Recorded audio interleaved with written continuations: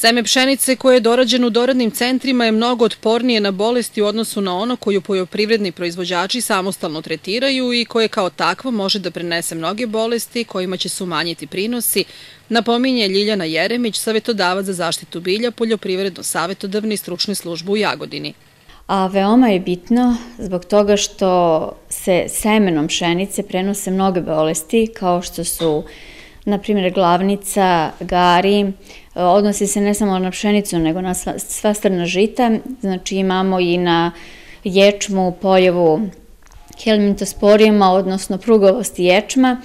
i neke druge bolesti, tako da je veoma bitno to odraditi, mislim, kupiti to deklarisano seme i obaviti setvu sa njim. Mnogi poljoprivredni proizvođači nemaju sredstva da izvrše setvu ukupne površine sa deklarisanim semenom, pa to rade polovično, koristeći i sobstveno seme. Zato je jako bitno pre setvu raditi tretman tog semena. Prvenstveno da se obavi trijerisanje, odnosno da se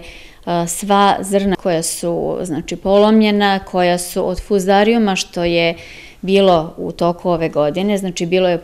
pojave fuzarijeznih zrna, tako da je to ovaj,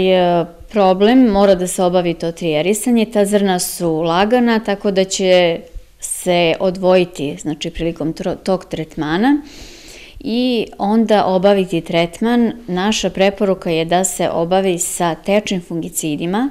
zbog toga što tečni fungicidi mnogo bolje pokrivaju površinu zrna. Poljoprivrednici koji su ranije posejali pšenicu i koja je već u fazi nicanja treba da obiđu svoja polja i obave pregled pšenice na pojavu insekata, posebno cikada i vaši, kao vektora virusa koji izazivaju zakržljalost pšenice i ječma.